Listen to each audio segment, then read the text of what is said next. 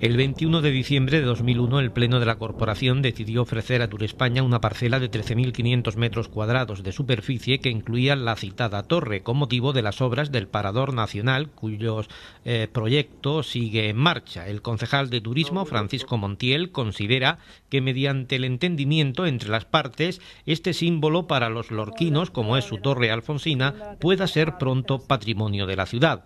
De hecho, recuerda que tanto los lorquinos como visitantes han podido disfrutar de ella durante estos años sin ningún tipo de problema y recuerda que actualmente en su interior hay una exposición permanente. Este próximo fin de semana incluso podrá ser visitada con motivo de las jornadas de puertas abiertas que se han organizado. Pues si lo devuelven ya sería un paso importante y una vez que fuera nuestra, pues lógicamente con Lorca Taller del Tiempo y Lorca Tour pues veríamos qué utilización se le daría. De hecho, ahora mismo la Torre Alfonsina estamos utilizándola mm, prácticamente a, nuestro gusto. Hay una exposición permanente en la Torre Alfonsina.